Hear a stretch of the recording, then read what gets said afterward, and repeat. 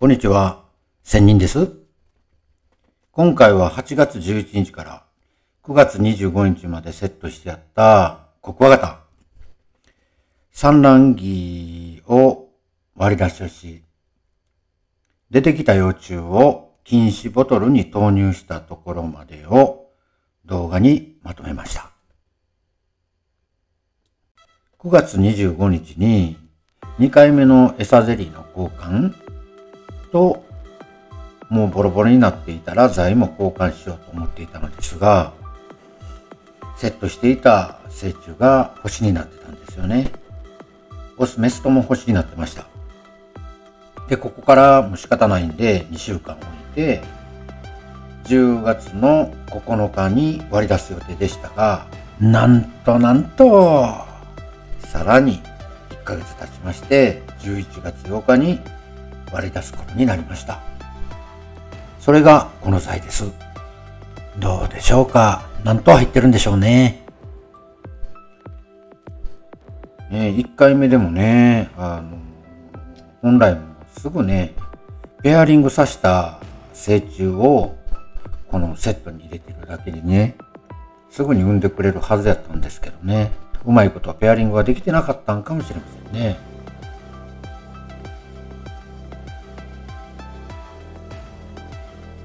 ね、どれぐらい幼虫がいるのか分かりませんけど、いつに2匹とも一緒に死んだということは考えられないんでね。群れで死んじゃったかなオスは、成虫のオスは、えー、山で取ってきたオスなんですけど、メスは飼育していて、去年に浮かして寝かしてた成虫なんですよ。だからね、まああの、多分群れで死なしてしまったんやと思うんですけどね、僕がね。まあ、成虫に対しては悪いことしたなと思うんですけどね。こればっかりも仕方ないんで、毎年こんなことはないんですけど、今年に帰って、今年に限ってですね、よくこれ、大クワガタも1メース星にしちゃってるんでね。気をつけないとね。まあ気を取り戻して何といるかちょっと割っていきましょう。もう早速出てきましたね。この幼虫は1例かな。2例幼虫かな。ねまだなんかありそうですね。ねえ。何頭いるのか。産卵孔はボコボコ開いてるんですけど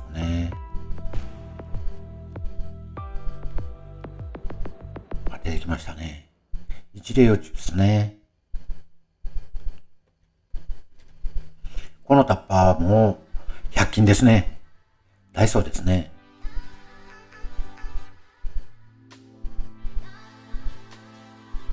1頭目ですね。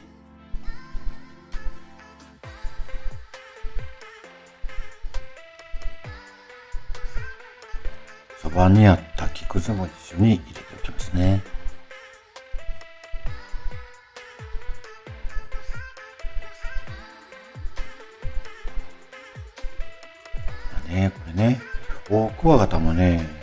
ワガタもね、もうほとんどね、えー、やり方は一緒なんですよね。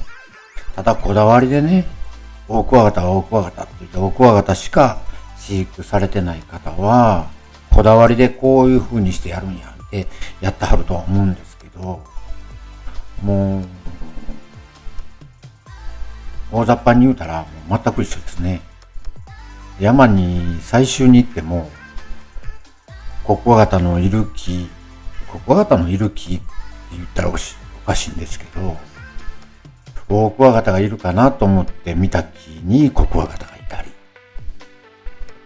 してますんでね。同じような、もう本当に、大クワガタとコクワガタ言ったら同じようなもん好みますね。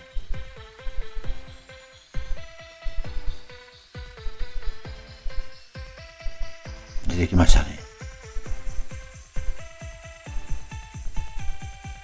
ね、今割ってる材はね、奈良材ですね。奈良材はもうすごく割りやすいですね。もう小麦材はもう粉々になるようにも、割りにくい割りにくい。自分はもう率先してできるだけなら剤で仕込んでますね。海が悪いっていうことはまずないです。どっちでも産みますけどね。まあ、クヌギが産むとか言うて言わはりますけど、それはもう、もともとクヌギの木にいる虫だからって言うて、例えで言われてるだけやと思うんですけどね。奈良でも全然産みます。でそれで、それと後の作業がしやすいですね。割り出しがしやすいですね。そうですね。野菜のキャベツの葉みたいにペロペロめくりますね。小麦はもう全然そうはならないですわ。あまり産んでませんね。やっぱりね。産む間もなく星になっちゃったんですかね。2頭目までは出ます。スムーズに出ましたけど。次がまたなかなかですね。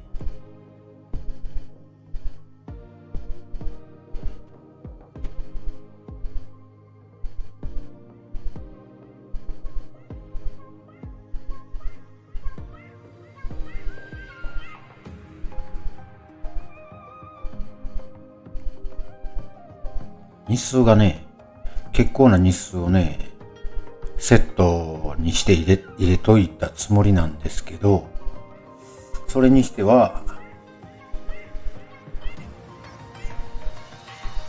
海側悪いかな。メスの方はセットしてすぐに星になっちゃったのかな。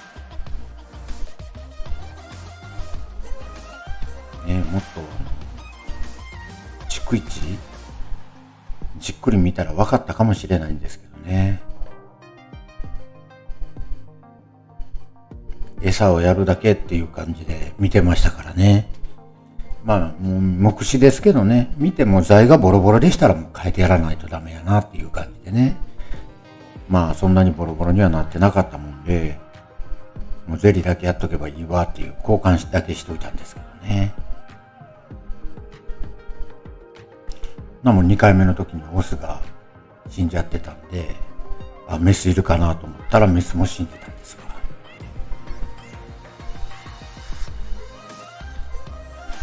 ねえ、うまいことね。お、出てきましたね。もう死なないで、今も生きててくれてたらね、たくさん幼虫取れてたかもしれないですけどね。まあ、まあ、一頭でもいいじゃないですか。残してくれればね。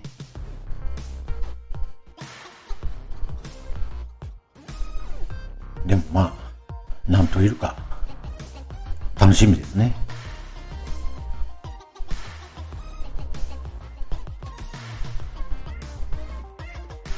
この材を見ている限り、全体的にまんべんなく産んでるんじゃなく、片面だけになんか産み落としていってるみたいで、数はそれほどはいないような感じもしますね。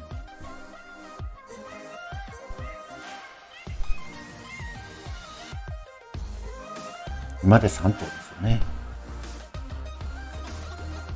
ちょっと早送りしてますね。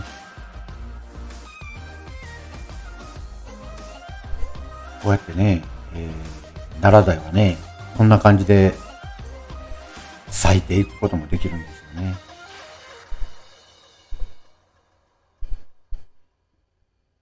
いましたか ?4 トン目ですね。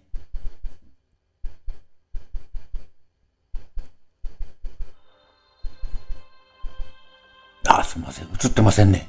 申し訳ないです。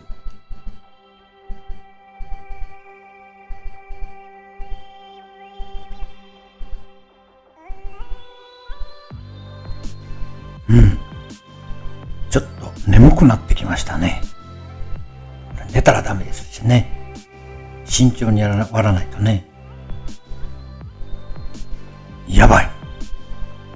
ほんと眠たくなってきた。うん。寝たらダメです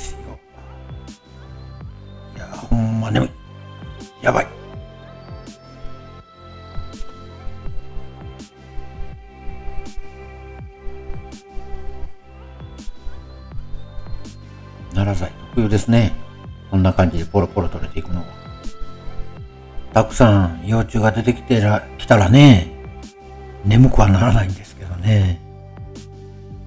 なんか、舌が回ってないような。申し訳ないです。頑張って割っていきます。あ、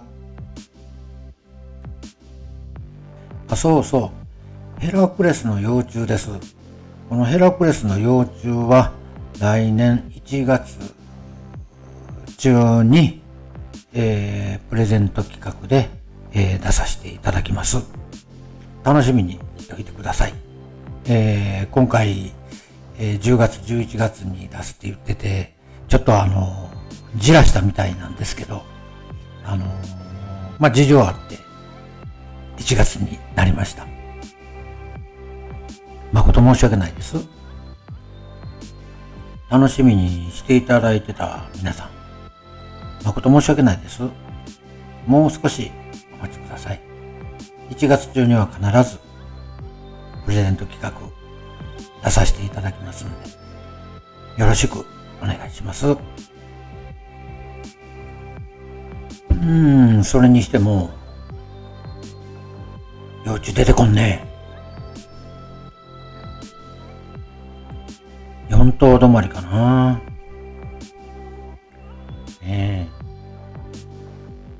こうやってね、割ってるとね、外でね、まあ、一昔前になるんですけどね、大桑の材割りとか言ってた時思い出すんですよね、やっぱりね。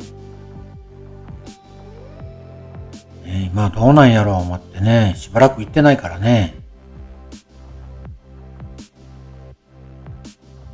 もうね、気がね、ほとんどな、ね、もうなくなってきてるんでね。もう、やっぱり乱獲とか、そんなんもあるんとちゃいますかね。倒れた木を狙うだけの人ってなかなかいないんでね。あ、出てきたか。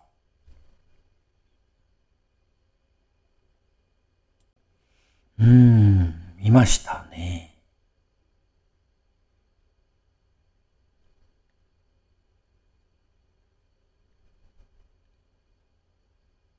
上手に割らないとね。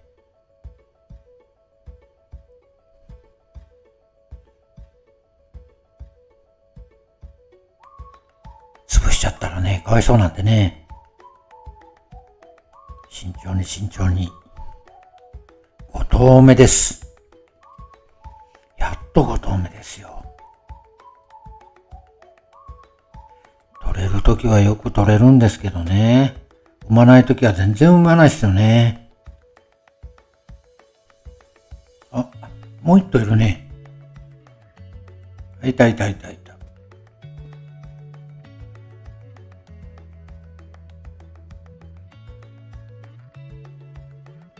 そんなに大きくはなってないですね。一例幼虫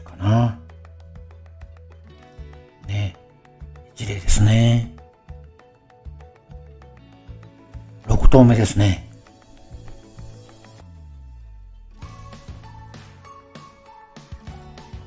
他はどうだ？うん？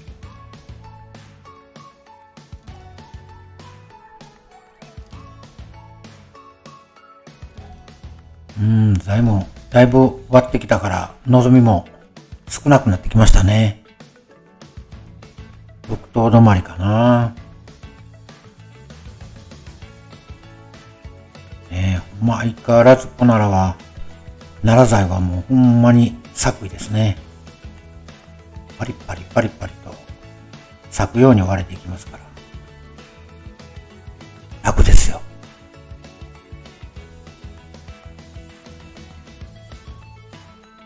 ここらになんかいそうな気がするんやけどな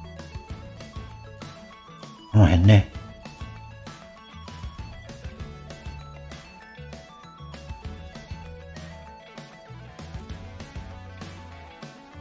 なんかいるでしょ。なんかって 幼虫が入ってるんちゃいますか？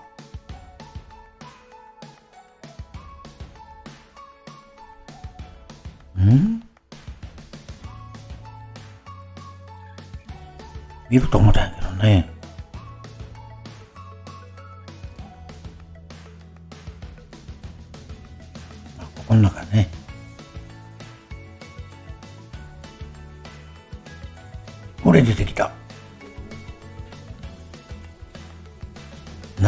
ですか？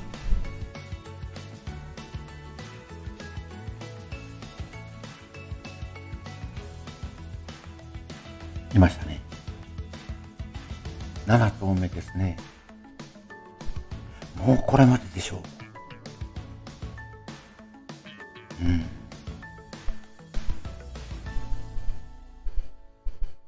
まだいそうな雰囲気もしますけどね。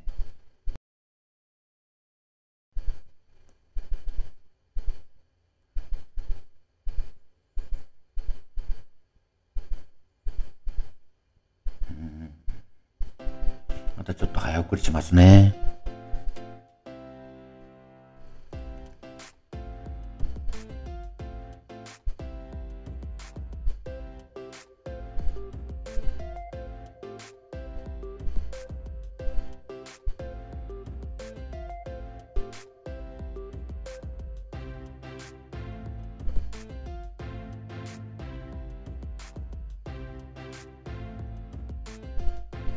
ねやはりね、偏った見方してましたね。こちら側には全然こう産卵痕すらないっすね。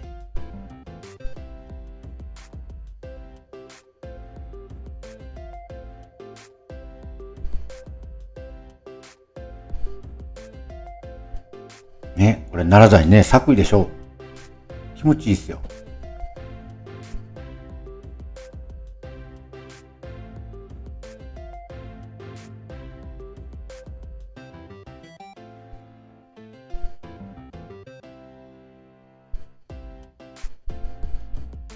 感じですね、材はね。あとはマットですね。7頭ですね。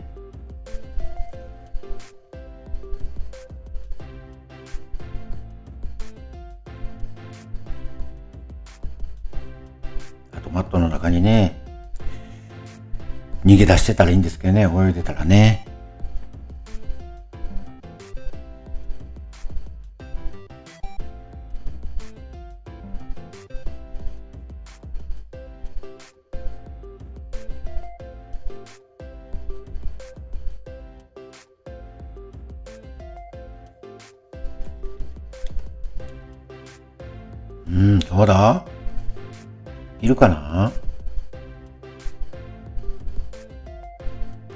雰囲気がないね。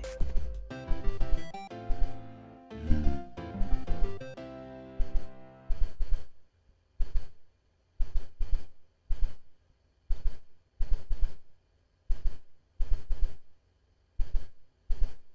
いそうもない。ね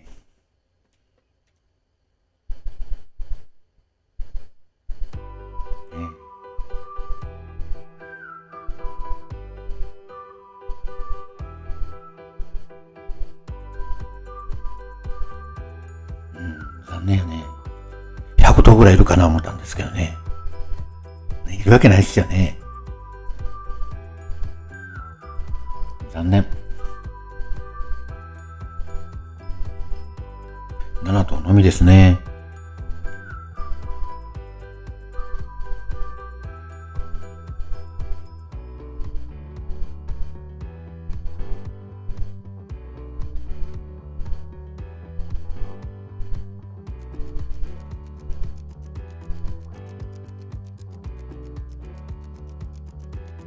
がないかね、さらに見てますね。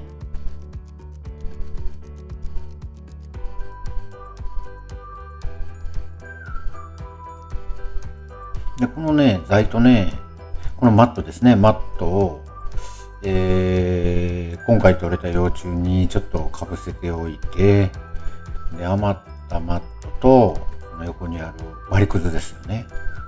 これは、あの、半月ほどでも置いといて、もう一回、もう簡単に目視ですけどね。目視して幼虫がいなかったら、えー、カブトムシの幼虫の餌として与えておきます。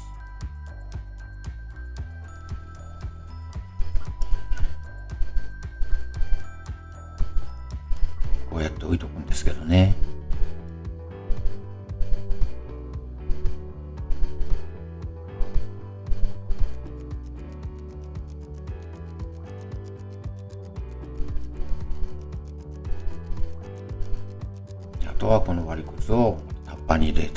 ケースに入れておいて、半月ほど置いといて、見落としがないか見て、目視をして、で、それから、まあ、あの、まあ、本来処分したらいいと思うんですけど、あの、自分とこあの、カブトムシも飼ってるんで、カブトムシの幼虫の餌として与えておくんです。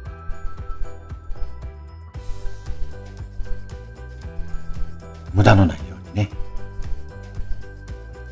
皆さんも、もし、オオクワガタ、コクワガタじゃなくてオオクワガタがいて、オオクワガタをこのように割り出ししたときに、もしカブトムシでも飼っておられるならば、幼虫の餌にしてやったらいいと思いますね。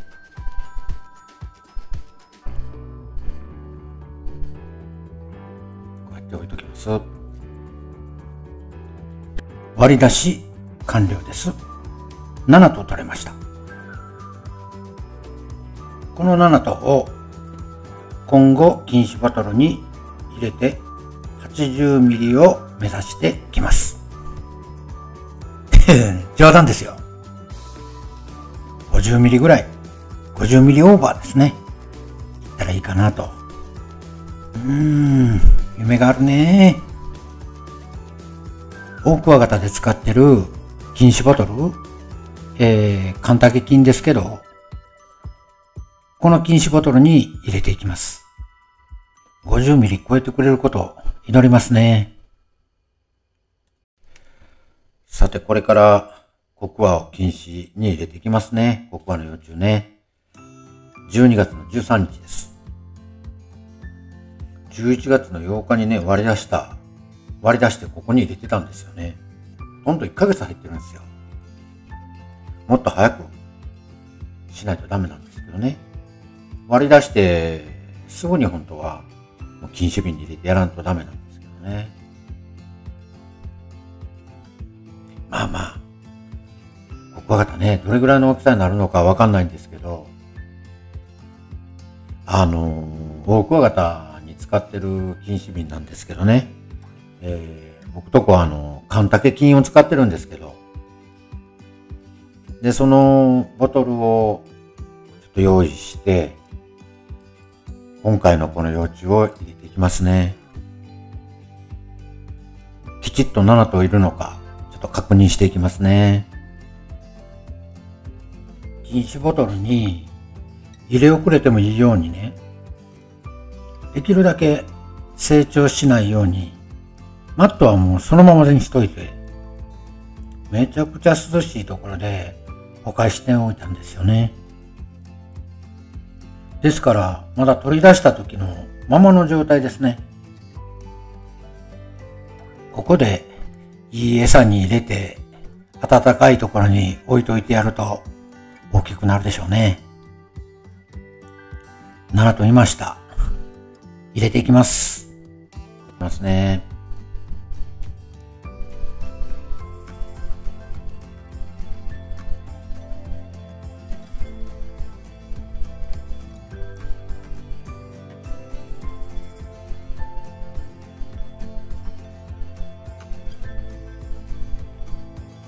大きくなってくれよ。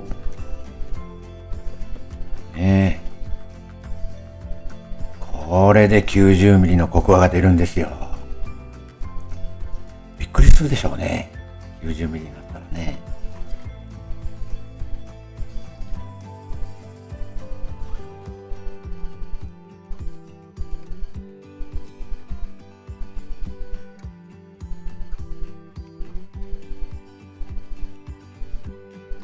はね、1回目の禁止民ですけどね、1回では無理でしょうし、もう1回入れ替えた方がいいでしょうね。またね、あの、もう一本入れ替えるときも動画でアップしていきますね。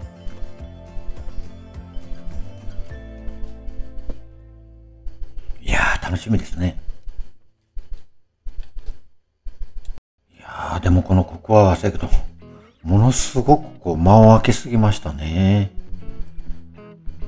コンスタントにね、してあげようと思ってたんですけどね。なかなかうまいこと時間が空かなくて。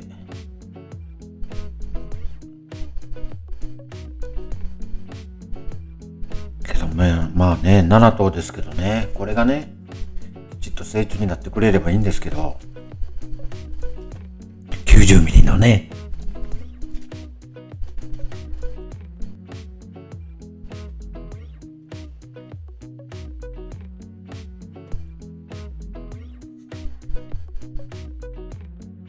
さあ、最後の7頭目の幼虫ですね。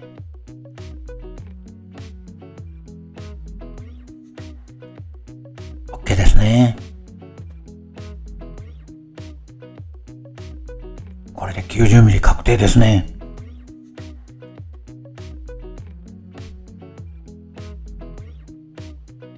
なんとか7と入れ替えることができました。国産オクワガタとほとんど飼育の方法は一緒です。感じですね。できました。7頭です。1例と2例になってましたね。いやー、次もまたね、あの、ボトルを変えるとき、2本目のボトルを変えるときまたこれ動画をアップしていきますしね。またよろしくお願いしますね。ということで、今回の動画はここまでになります。ちょっと長い動画になりましたけど、ご視聴ありがとうございました。少しでもいいと思った方は、グッド、評価、コメントお願いします。それでは今回の動画はこれにて終わります。この次の動画もゆっくりお楽しみください。